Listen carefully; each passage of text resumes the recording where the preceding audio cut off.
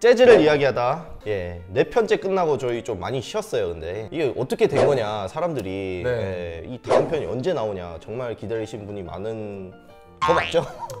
네. 예, 그러길 바래요. 네. 공백이 좀 있었죠. 어떻게 지내셨어요 중간에? 어, 먹고 사느라 바빴어요. 아 먹고 사는 거 네. 아, 먹고 사는 게 제일 중요하죠 여기 공간이 새로 이렇게 새로운 우리 공간에서 이렇게 촬영하게 됐다는 거 정말 여기까지 올 줄 상상도 못했습니다. 네, 전. 저희가 1편에서 4편까지 이게 공간이 조금씩 바뀌었는데 네, 여기는 또 새로운 공간 앞으로 계속 이 컨텐츠들을 네, 만들게 돼요. 여기서 이제 정착하는 걸로. 네, 정착하는 걸로 이사 네. 가지 말고 이사 귀찮으니까 가서. 네, 좋은 컨텐츠, 좀 더 나은 컨텐츠, 재밌는 컨텐츠로 어, 시청자분들에게 인사드릴 수 있는 그런 공간이 될 것 같아서 정말 기분이 좋습니다. 예, 정말 기대가 많이 되는데요. 네네. 예, 오늘은 뭐에 대해서 좀 얘기를 해볼까요? 오늘은 지난 편에 이어서 1920년대 재즈의 전성기였죠. 네, Jazz Age 그때부터 시작된 어, 이제 빅밴드. 빅밴드가 어떻게 탄생하게 됐고 그 뒤에 어떤 문화적인 어, 배경이 있었는지 네. 그런 전반적인 거에 대해서 이야기를 하고 이 어, 그룹들이 어떻게 1930년대 우리 이제 네. 나오는 스윙 시대죠. 예. 네, 우리가 흔히 알고 있는 스윙 시대. 어, 그 시대의 뮤지션들과 이제 밴드들에게 어떤 영향을 끼쳤는지에 대해서 오늘 네. 좀 전반적으로 이야기를 해보자.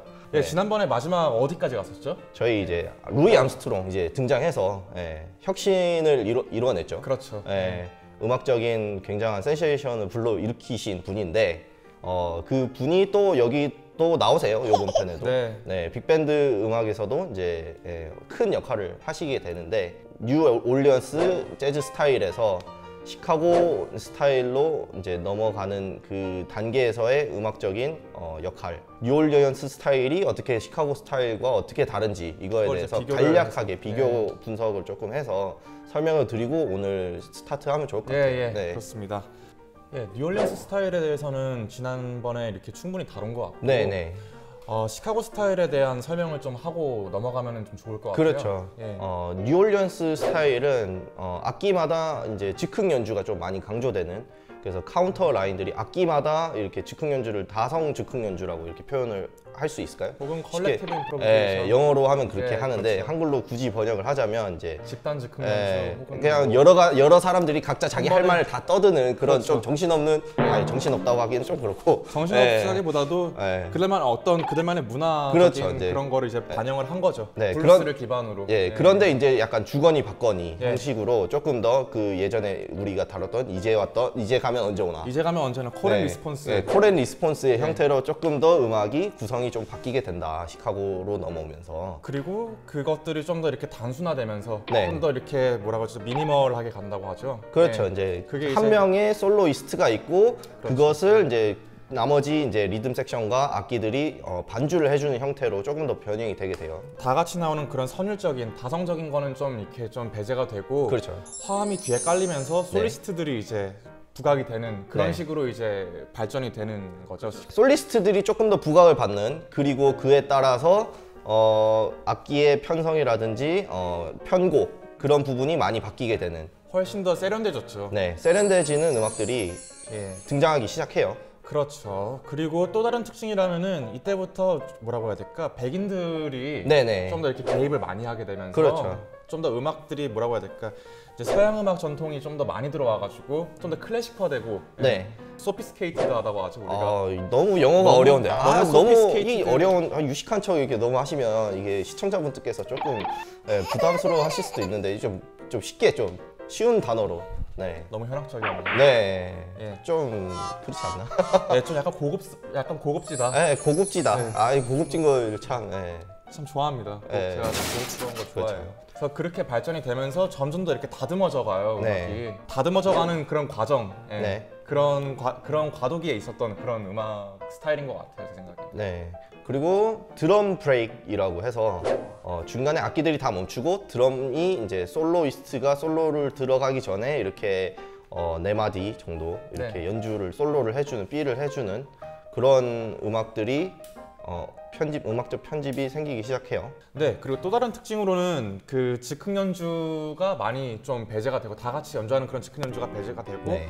좀더 작곡적인 그런 요소들이 많이 등장하기 시작해서 예. 조금 더 이제 악보에 적힌 대로 어느 정도 밴드들이 연주를 하는 그런 그렇죠. intro와 예. outro 구성이라든지 그런 구성들이 좀 많이 드러나게 세계가 돼요. 많이 잡히기 시작해요. 네. 서양 음악의 특징이죠. 그렇죠. 예. 예. 그런 게 좀 많이 등장하게 되고 그리고 soloist들을 부각시키기 위해서 다른 편곡법이죠. 이거는 어, drum break라는 이제 네, 중간에 악기들이 다 빠지고 드럼이 drum fill-in 드럼 연주를 이제 네 마디 정도 긴, 예, 긴장감을 줬다가 이렇게 한 번에 네. 빵 터트리는 이런 예, 편곡법 예, 네. 그런 이제 종류들이 시카고 스타일을 거치면서 이렇게 많이 등장하게 됩니다. 그 빅밴드라는 게 어떻게 생겨나게 되는지 그 백그라운드에 대해서 좀 얘기를 할 필요가 있을 것 같아요. 어, 사실 넘어가면은 존 필립 수자라는 사람이 있었어요. 요즘은 쓰는 이제 수자폰이라고 하죠. 이제 군대에서 이런 예, 좀 말도 안 되게 네. 큰 그게 사실 그 사람의 이름에서 따온 이제 존 필립 수자라는 사람이 예.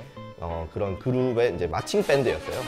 그런 거를 운영하기 시작해서 이제 이게 재즈로 넘어오기 전에 어, 제임스 리스 유럽이라는 사람이 있었는데 이 사람은 흑인이에요.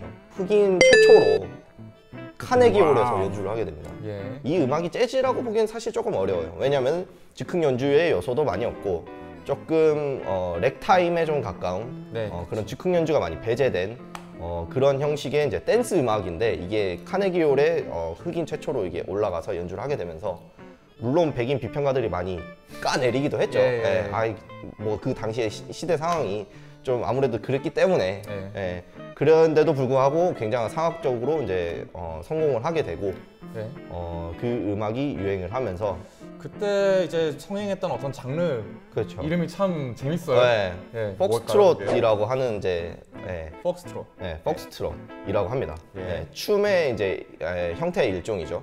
근데 어디서 이게 좀 많이 들어본 거지 않아요? 이 단어가? 폭스. 트롯, 예. 트롯, 트로트. 트로트 하면 트로트. 트로트. 예, 맞아요. 그 트로트가 그렇죠. 사실 이 단어에서 유래가 된 거거든요. 예. 예. 이 이제 빅터 레코드사에서 그 전편에 말씀드렸던 빅터 레코드 예, 음량 음반을 많이 만들었죠 LP판. 그래서 그 음반들이 일본으로 수출이 많이 돼요. 1920년대 때. 그 20년대 때 앨범을 듣고 일본에서 어, 일본 뮤지션들이 엔카란 엔카 엔카라는 음악을 이렇게 하기 시작해요 연주를. 근데 그게 이제 1920년대를 지나면서 한국에 들어오면서 이게 폭스트롯이라는 이름이 어, 뒤에 트로트 이것만 붙어가지고 지금 저희가 알고 있는 트로트가 트로트가 됐어요. 된 거죠. 네, 예. 이게 참 신기한 게 네. 이게 이렇게 또 된다니까요. 네. 여러분들이 역사라는 알고 게. 있는 트로트가 사실 그 사실- 트로트라는 그 이면에 네. 예, 재즈 이게 재즈가 있었다라고 예. 볼 수도 있는 거죠. 사실은 그렇죠, 그때 나온 단어가 지금 우리가 쓰는 그 트로트라는 단어의 어원이니까 네. 굉장히 이게 동떨어진 내용이 아니에요. 이게 예.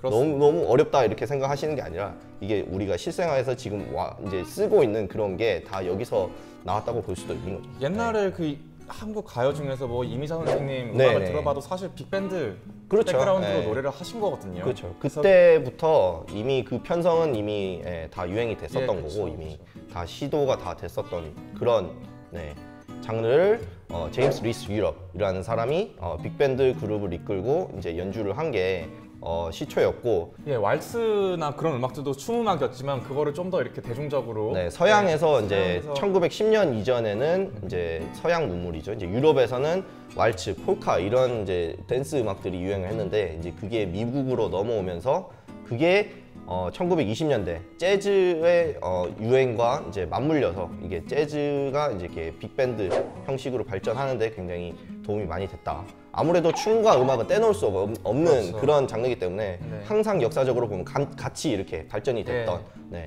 지금 현재 보면 힙합도 그렇고 힙합 댄스와 힙합 예, 춤을 따로 이렇게 얘기할 수 없듯이 항상 그렇게 발전되었기 때문에 네. 춤과 음악을 같이 이렇게 얘기를 해야 네. 이렇게 이해하기 쉽다는 거 그런 점을 예, 참고하시면 좋을 것 같습니다.